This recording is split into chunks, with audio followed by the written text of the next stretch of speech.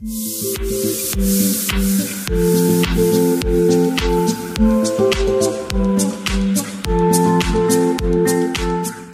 guys, welcome back to my channel. It's Shai again. You see my background, you see me on the floor, so you guys know this is going to be another prep for a travel video. So I'm actually going to be unpacking my makeup bag from my last trip and determining what I need for my upcoming cruise. So if you guys are interested, stay tuned. I'll be talking about some of my makeup staples for traveling, especially for hot weather, what I think will be needed, what I'm missing from this, what I gotta go grab out the room. So we gonna get right into it. Alright guys, so the travel bag that I'm taking to store my makeup looks like this. I purchased this recently, I think from Walmart, if I remember correctly, and it was $9.99. If I can find it on Walmart.com, I will include it in the description box below. This little baby is going right in my personal bag because I don't play no games when it comes to makeup. If something's broken, I want to blame it on myself, not anybody else. So I took this with me to Alabama. I did the same thing. I put it in my personal book bag um, when I was on Delta and everything was fine. So we're going to unpack this and um, see what is still needed for that hot southern weather and what I think I can leave behind and what I am missing. So we'll unzip. Um, first thing I kind of see, I'm just going to pull as I see stuff in here, is my Fenty concealer. The Fenty concealer does not work very good for me, guys. I crease. I don't know why. I don't know what it is but I think we're going to leave this behind. So anything I'm leaving behind, I'm probably going to put it behind me. um, the next thing I have is my Fenty foundation. I know you guys are like, what the heck is that little thing? If anybody knows when Fenty's foundation first came out, they were giving out samples in these little bottles.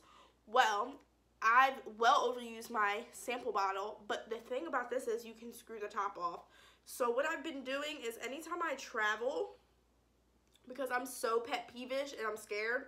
I fill this up out of my big font, my big Fonty, my big Fenty bottle, and I take this with me on travel. So this is definitely going to be a staple. Fenty does beautiful in hot weather. You put that primer on and you're set and you're ready to go. So I'm taking this with me. This will stay. Um, like, should I even, y'all already know what I'm going to say about Studio Fix. It's going. It's going point blank period. This is my favorite powder. Y'all know. Um, next is my Fenty bronzer, Coco Naughty, and I know I was supposed to do a video on this for you guys. Um, haven't got there yet, but I am taking it on vacation with me. I was thinking about getting Mocha Mami because it's going to be hot, and I'm trying to look real, like, chocolate. So, I don't know, but Coco Naughty looks nice, too. It's more neutral. Mocha Mami's more red. So we'll see. But Coco Naughty's going. Um, this must be a Fenty. Is this a Fenty tutorial? Like, sis. I have Fenty's Killawatt Highlighter in Ginger Binge and Moscow Mule. I keep trying to show you guys the back labels, but I'm in front of the window. Um, I'm taking this with me. I'll show you guys the inside. This is my all-time favorite highlighter. And actually what I do with this is I use the one side as a blush and one side as a highlighter so I won't need to take a blush. So this will go with me definitely. I wear this even when I don't have on like foundation. This is how much I love this. I'm surprised I haven't hit pan yet. Um, we have the Wet n Wild Photo Focus foundation stick, which you guys know I hate foundation sticks, but this actually grew on me a lot when it came out in the beginning of the year. Therefore, I think um, only because it's hot, I don't think I'm going to take this with me because the foundation stick is known, I think, to break up more. But this was very long lasting even in like the April, March months. But I'll just leave it behind because I know something else that might um, do better for me. And we don't want my foundation stick to melt either. Okay. Next is my e.l.f. 16 hour concealer camo concealer. This is going this is one of my favorite concealers. Um very little creasing if any which is very rare for me with concealers. Um it's going. That's all i gotta say. Why did i pick up two? So i got my um brow nyx brow nyx nyx tinted brow mascara in espresso. That'll go for the brows. I have my la girl glide Glide gel liner. It's my favorite gel liner. Under the eyes, it's the best. It'll be going. Um, I have the NYX Full Coverage Concealer, which is what I usually use to carve out the brows. I'm going to put this behind me only because I'm going to have to decide if I want to take this with me or if I want to take the NARS um, Creamy Radiant, and I think I use Amande. So um, it's between those two. Honestly, this is a dupe for this one.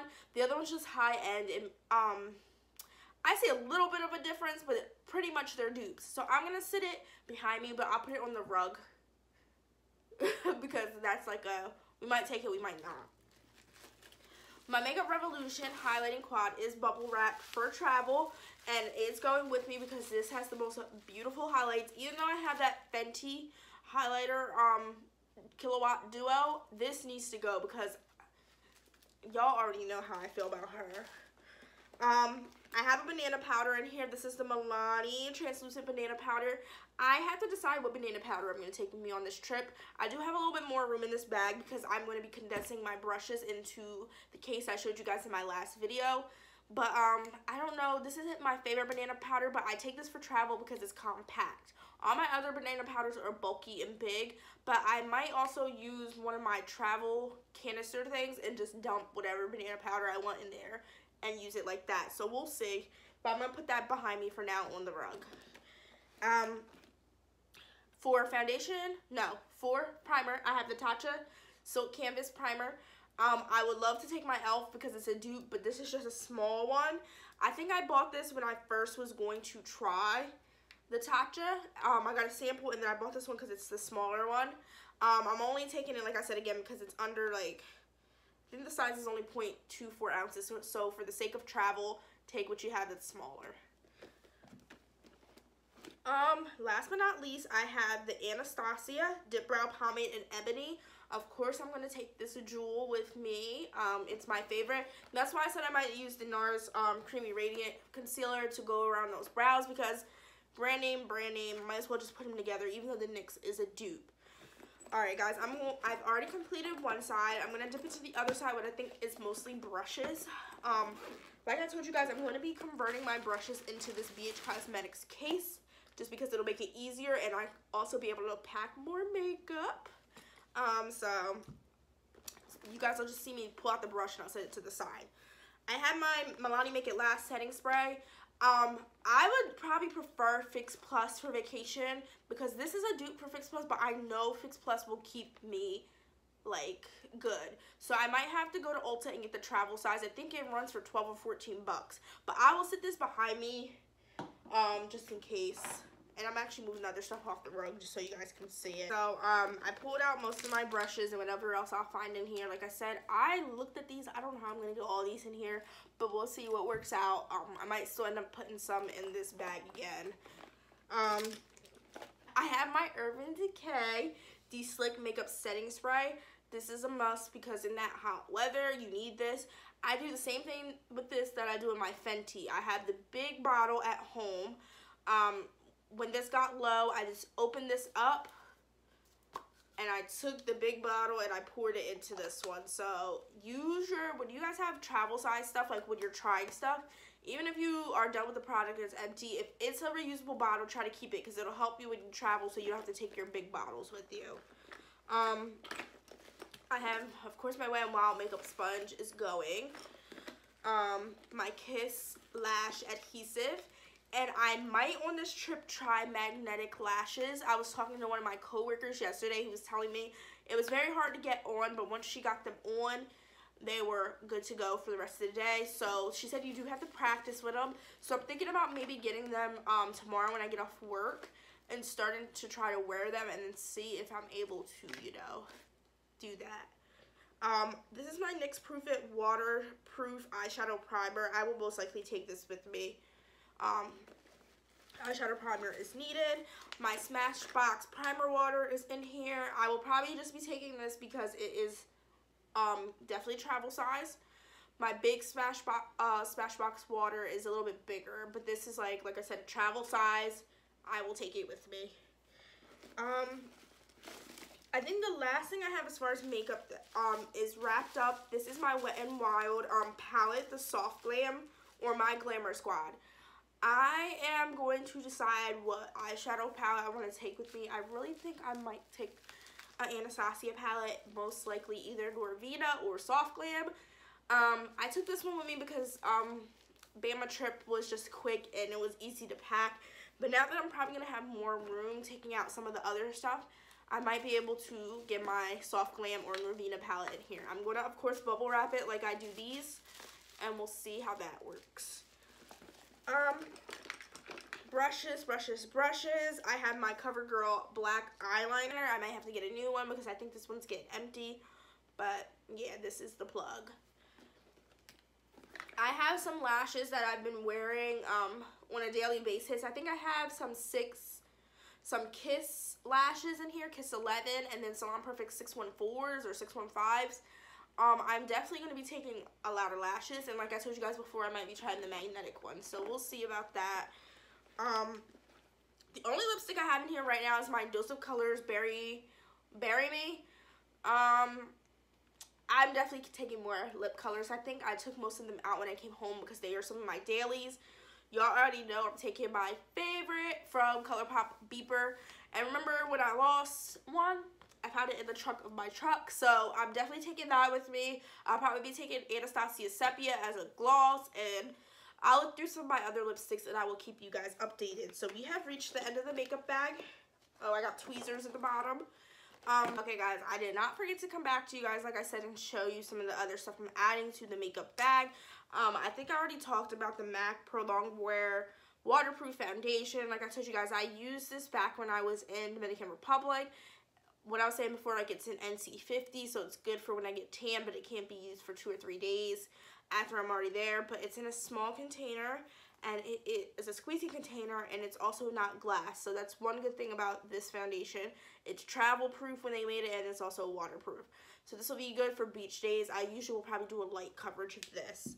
Um, I also picked up my Estee Lauder Stay in Place Double Wear Foundation. You guys know this foundation for the goats out there Y'all know that this stays in place. This does not go nowhere. I need to bring this with me. And I thought about it. Um, I already have my MAC pump on top. I'm going to definitely have to bubble wrap this one though because it is that glass. I have the shade Amber Honey. I am probably going to test the shade and make sure this is still my color and I don't have to get something else. But one thing I will do, which I did last time, is if anything, most of the time this might be a little tad bit too light for me. Mixing these two is an amazing combination for sweat proof. So if I have to, I'll just combine those, but this is another great one.